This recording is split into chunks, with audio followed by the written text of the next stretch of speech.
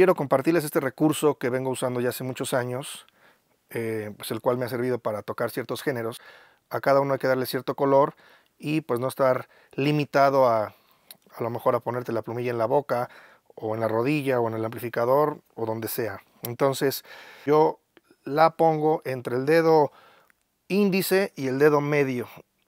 Así nada más. Como si está, no está. Así que pues me ha servido mucho para poder tocar ciertos géneros, como les dije.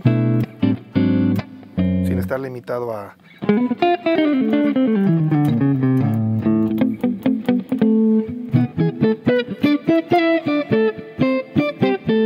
Tocar tónicas y terceras, por ejemplo.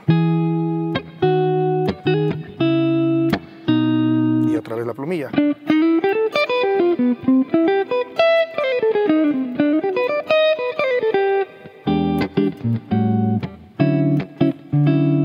Así que pues nada, espero que les sirva, lo compartan y pues nada más así, ponerla aquí en el dedo índice, dedo medio, estudiar así, agarrarla y esconderla. Saludos.